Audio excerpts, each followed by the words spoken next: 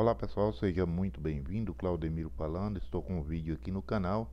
E nesse vídeo eu quero estar trazendo uma dica, compartilhando com você aí uma dica para você que tem um blog aí na plataforma do, do Google, um blog no, no, no Blogger, no Blogspot, você é, tem aí seus artigos e não quer que ninguém copie ele, por exemplo, eu tenho um, um blog aqui e aqui eu tenho um artigo, né, um blog de um projeto que eu estou criando, um blog de notícia local aqui do meu lugar.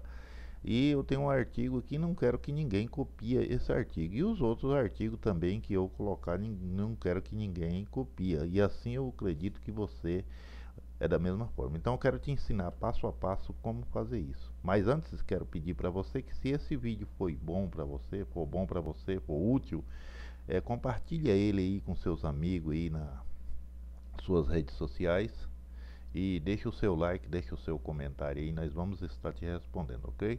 Então vamos para o vídeo. Então aqui na plataforma, aqui não, no, no meu painel, se você tem um blog, você tem esse painel aqui, eu venho em tema, e aqui em tema, eu procuro aqui por, HT, é, por HTML. Mas antes de tudo, eu quero pedir falar para você que você aconselho você fazer um backup. Você vem aqui, clica aqui e faz o download do tema aí. Eu não vou fazer porque eu já fiz do, do meu. Então você faz o download do seu tema aí, porque se qualquer erro que der, você tem o, o, o tema que você está trabalhando certinho, não precisa você estar se preocupando, ok? É só subir de novo e aí está tudo certo. Então você clica aqui em editar HTML.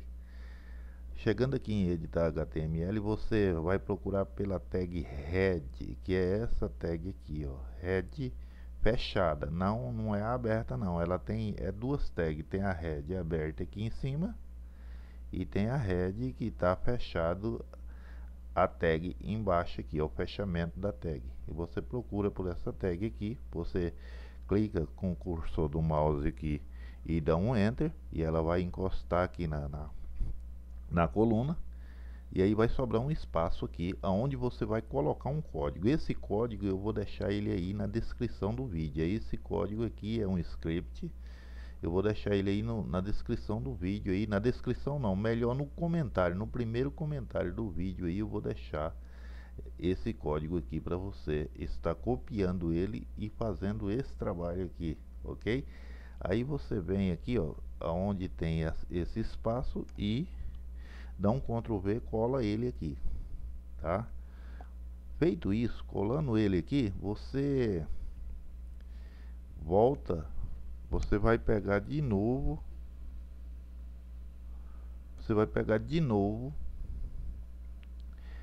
aqui você tá vendo aqui a tag bar aqui, ó, essa tag bar aqui, você vai substituir ela por essa daqui, ó, por esse código aqui também vai ficar aí no comentário aí.